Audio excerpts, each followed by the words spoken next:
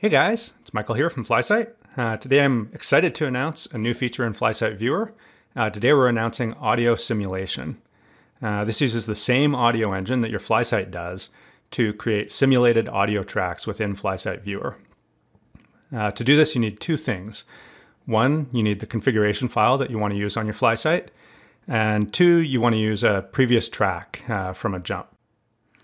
There are two big advantages in this tool. Uh, one is it'll allow you to quickly iterate through changes in your configuration files. So you can try out different settings, uh, see how they sound, and adjust your configuration file accordingly. The second one is if you run into any troubles with audio, if it's not producing the audio you expect it to, then you can send us the configuration file and the jump, and we should be able to reproduce the problem here. So let's take a look at the tool. The first thing we're going to do is we're going to open a track.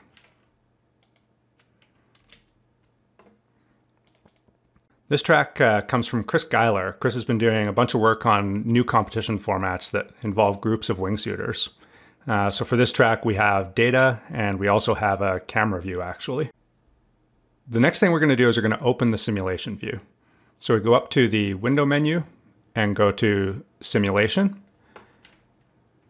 And I'm going to put this over on the side of the screen on top of FlySight Configurator, and that way it's out of the way. There are three parts in the simulation window.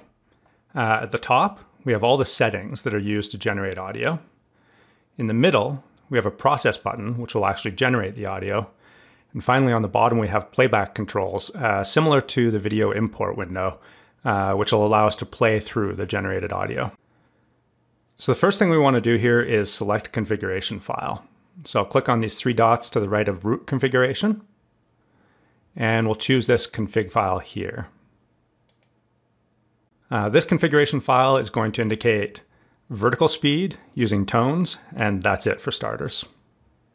Now, if we wanted to, we could also add a selectable configuration. So if you're using selectable configurations, you can import both the root config file and the selected one. And if you're using customized audio, uh, you can click on this and you can uh, import custom audio folders. Uh, if you're not using custom audio, FlySight Viewer actually comes installed with uh, the standard set of, of audio files. And so you don't need to do anything here. And finally, down at the bottom here, uh, we actually have a box that tells us where the generated audio file is going to go. And this would be useful, for example, if you wanted to overlay audio on your own video outside of FlySight Viewer. Okay, let's go ahead and hit the process button. Now, as soon as processing is done, uh, playback starts, and we hear that tone uh, that indicates that the FlySight just got a fix. We'll need to reprocess the data anytime we change the configuration file or if we load a new jump. Let's go ahead and look at the playback controls. So we can change the playback position in two ways.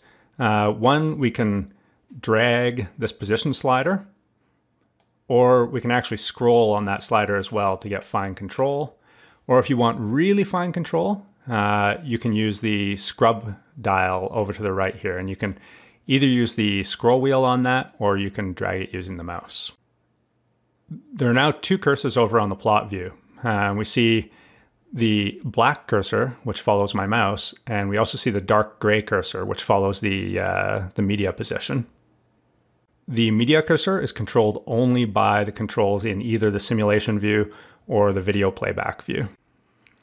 Let's move this, uh, this cursor to just a few seconds before exit. Uh, maybe we'll go three seconds. And let's see what it sounds like. So we'll hit play. And there's exit. The tones start playing. You can see the pitch gets higher as our vertical speed gets higher. And it gets lower as the vertical speed gets lower. You can also see that on the steep parts of the vertical speed, the tones come faster. And when vertical speed isn't changing much, the tones come a bit slower.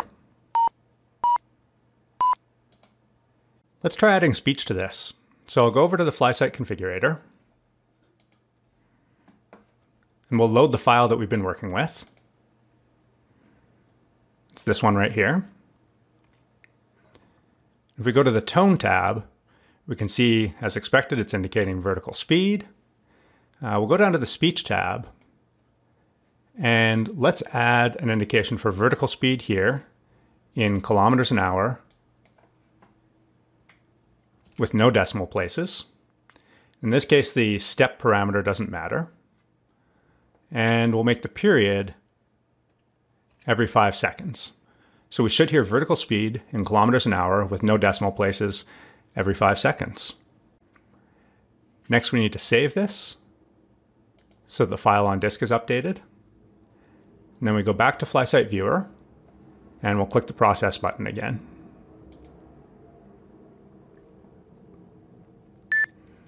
And once again, playback starts as soon as it's done. We'll click pause. And again, let's move the cursor to three seconds before exit.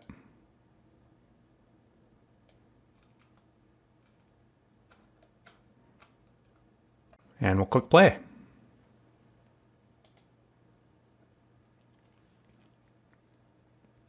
Three, seven, nine, five, seven, six, Okay, so now we hear speech as well as tones. nine, one, So finally, let's try also adding a video. I'll import the video.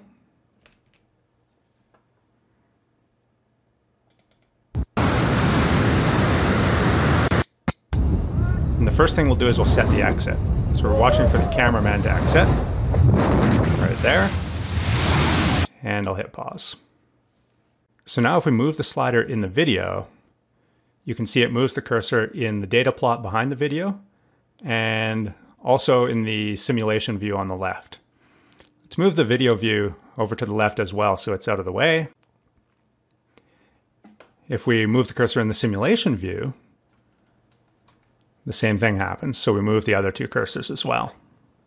Let's uh, again move just a few seconds before exit. And see what happens when we hit play.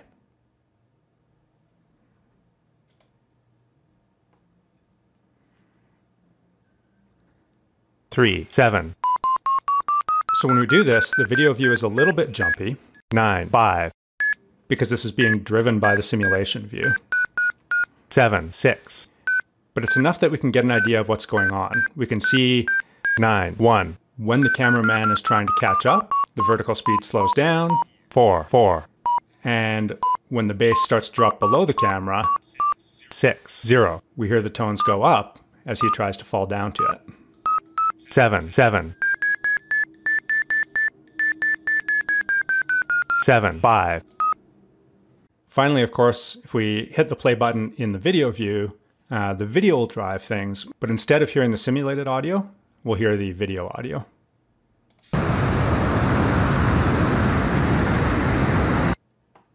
That's it. I'm excited to be able to deliver this to you guys. Uh, if you have any questions, please let me know, and thank you for watching.